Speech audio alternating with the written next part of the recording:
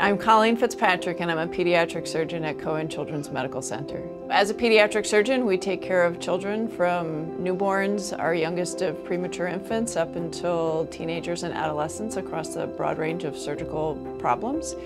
I think it's really gratifying and very special to improve the life of a child. You know, the children are incredibly resilient, and when they're sick and they need help, it's just kind of a gift to be able to help them get better, get them through their illness, support their families through it, and sort of get them back on track for having a normal life as a kid so that they can grow and thrive and, and develop as they should. There's a broad range of pediatric subspecialties here, and so I think the depth of expertise sets Northwell and Cohen's apart, and it gives us a you know great environment to provide great comprehensive care.